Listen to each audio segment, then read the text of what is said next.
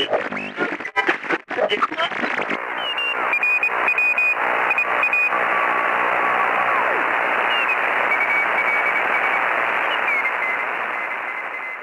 YouTubers and fellow hams. Well in this video we're going to have a look at a piece of Heathkit gear, the ID4101 electronic switch. So what is an electronic switch? Well it's an accessory to an oscilloscope. And it does pretty much what it sounds like it does. It electronically switches something. Well what does it switch? Well it switches between one of two inputs to your single channel oscilloscope, turning it into a dual channel oscilloscope.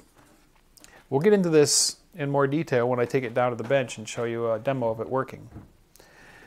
But uh, let's, let's think back for a moment to uh, when the oscilloscope first came around. Hot on the heels of the invention of the CRT, uh, we naturally had the oscilloscope. And the way an oscilloscope works is, uh, okay, you have a, uh, a CRT an electron beam that is scanning across the CRT rapidly, starting from the left, moving across to the right. And then the uh, vertical direction of that electron beam is controlled by an input voltage. That's what you're watching or what you're measuring, is that input voltage. Uh, something like a sine wave, for example, um, as it swings positive and then swings negative, while that trace is moving across, you get a nice drawing, basically, on the CRT of a sine wave. If you were to feed audio into the oscilloscope, say for example my voice, you'd actually see the waveform of my speech as I'm talking on the oscilloscope. Isn't that neat? You probably have seen that in some old sci-fi movies, say they're on a spaceship's control council or something, or when the computer would speak, you'd see that. Pretty cool. So, um, Back when oscilloscopes came out, most of them were, were single trace, single channel. One input, one trace. Later on, there were uh, CRTs made with two electron beams, and they would double the input circuitry of the oscilloscope, and they'd create two traces, so you could feed two channels into the oscilloscope, a two-channel oscilloscope.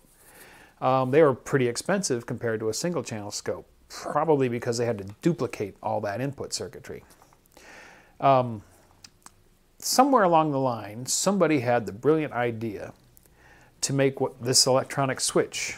Okay, the early ones were made with tubes. And, but what it does is it takes two inputs and it alternates between them. It traces the trace across the oscilloscope twice as fast. And one time it feeds at channel A. This next time it feeds at channel B. And then just back and forth, back and forth, back and forth. And then to allow you to see both traces at the same time, since they're laying over the top of each other, uh, it applies a DC offset voltage to the input signal. So let's say on channel A, it applies a positive offset voltage. The waveform stays the same, it just moves up to, let's say, one or two volts up on the scale. And then it applies a negative offset voltage to the B channel, and that waveform moves down, and voila, you have a two-channel oscilloscope. Well, you have a one channel oscilloscope, but you have two input channels. So that's what an electronic switch does. It allows you to take the cheaper one channel oscilloscope and turn it into a two channel oscilloscope with this external device. So I'm going to take this electronic switch down to the bench and we will do a demo and show you how it works. Well, it's a sad day for me. This is my dad's old single trace Heathkit oscilloscope model IO4555. And last time I used it was back in November. Um, had it at a ham fest and was demoing it and it was working okay. And it sat on the shelf since and I powered it up tonight in order to do this demo of the electronic switch. And it took me about a half an hour to air out the basement. The cloud of white smoke that I got out of it immediately was incredible. The power transformer uh, blew I'd read that that was a known failure mode on these guys. I had no idea how dramatic it was going to be. So, the old girl is dead. I might look for a power transformer for it someday, I might not. It's been patched and patched and patched as components have failed, and uh, I think it's just time to put the old girl out to pasture and, uh, and uh, declare her a donor for uh, components for other things.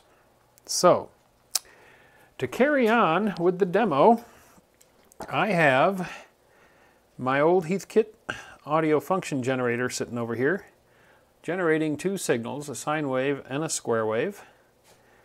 I've got those fed into the electronic switch.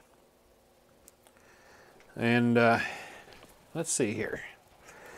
Okay, so these are the inputs coming from the uh, audio generator. I've got both inputs set to the 10 volt range and uh, the sync output from input A is going to external trigger on the uh, oscilloscope. And you'll see the output here is going to channel 1 input on the oscilloscope, so we are only looking at one channel on the scope, right? Now, presently I've got the selector switch on channel B, so we're looking at the B input, which is a square wave. If I switch that to A, now we're looking at the A input, which is a sine wave. Now, if we go into switching mode, we have two signals. Now, on an analog oscilloscope, the uh, switch transition would happen so quickly that you wouldn't see the trace jump from one side to the other. But here you can kind of see a little flash occasionally, a little line drawn between the two as the uh, trace is jumping from uh, down here up there during a switch cycle. If I speed up the switching, now it's happening so often that you can you can see a lot of it. So I've got a switching speed. Yeah, we lose a little stability there. I don't think the trigger was too happy. There we go. So at that speed, switching speed, I'm seeing a fairly stable representation of both waveforms. On a single channel into the scope, it's, it's tracing, switching to this channel, tracing, switching back. Um, and uh, that's how it works, pretty much. I've got gain controls on the individual inputs here I can adjust, so I can increase the, the gain on one of the inputs. Um, I have a separation control. Now this controls the DC offset that's being applied to the inputs.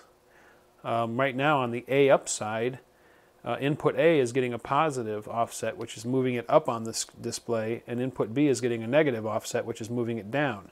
If I rotate that control, you'll see the two waveforms converge until I get to the zero point where there's no offset on either one.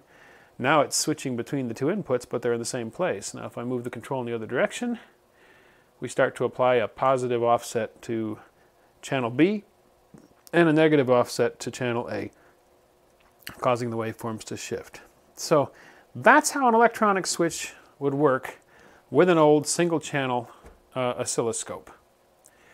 Um, yeah, on the old scope, you didn't. It was much cleaner. You didn't see this flickering occasionally. You didn't see that little vertical line between the two occasionally. Like I said, the uh, trace was moving so quickly when it was jumping up or down that, that it didn't uh, illuminate the phosphor well enough to be seen. The digital scope is just capturing data fast enough that it's catching those transitions and, and displaying them. But hey, this has got two inputs anyway. If I want two traces, I'd, uh, I'd use the second input. Curiously enough, I imagine that there would be no problem at all with using the second input and actually having three inputs uh, going on this scope at the same time using the electronic switch. Um, so there you go. That's how it works. Uh, it's a neat old piece of gear and it uh, did solve a problem back in the day. Thanks for watching. If you enjoyed the video, don't forget to give it a thumbs up. Also, if you're not already a subscriber, click to subscribe. Join us on the Facebook channel for discussion about the videos. And if you'd like to help support this channel, please click to support me on my Patreon page.